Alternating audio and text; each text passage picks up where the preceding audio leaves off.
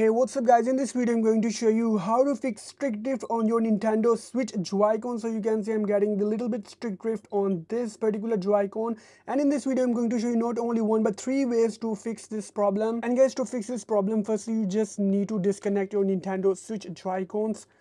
And uh, I'm getting the stick drift on this particular Joy-Con. So guys in the first step what you're gonna need to do you just need to press and rotate this Joy-Con six times in the clockwise like this. You just need to hold and rotate anti-clockwise like six times.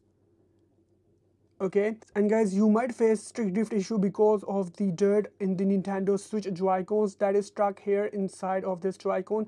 So you can use any cotton bud to clean this. You can see my this nintendo switch joy-con is not clean. So you can just use this joy-cons to clean all the dirt.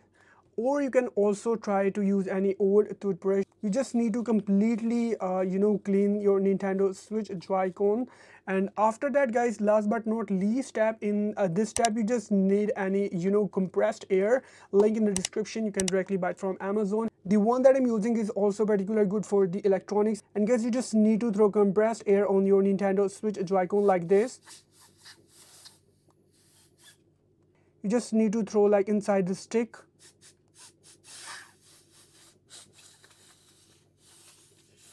and guys it will definitely fix the drift issue without opening the Joy-Con. Let me just show you if it is fixed or not. If I just go to the settings, go to the controller and sensor and uh, calibrate control stick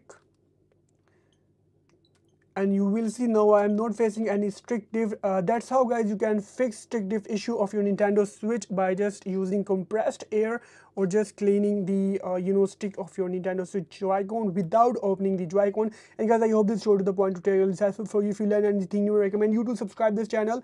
That's it for today. Hope you guys see in my next video. Till then, goodbye.